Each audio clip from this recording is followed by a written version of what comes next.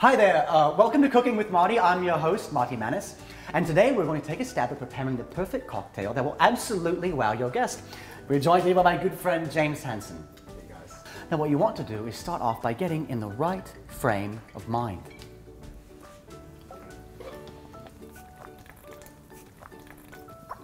Oh, damn, that's good. You want to start off with a bit of vodka and a splash of blue curacao to give it some color. Now, what you want to do is thinly slice up some strawberries to give it a unique look as well as a natural, refreshing flavor.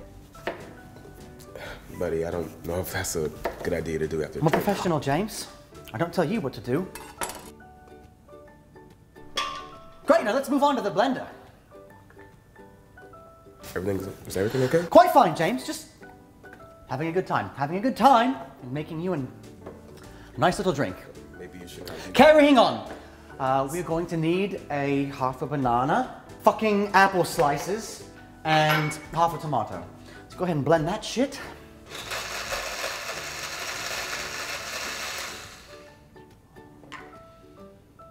Yeah, see, you already get a hint of what the cocktail will taste like from the smell alone. I get a hint of what it's gonna taste like from your breath alone.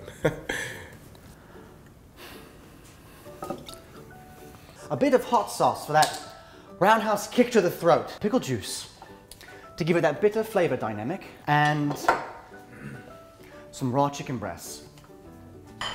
that doesn't sound very appealing. Fuck off, James.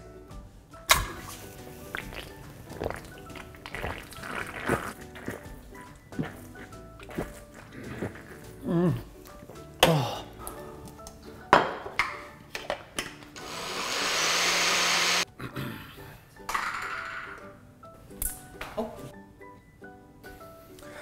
Don't. Try. about- don't- try.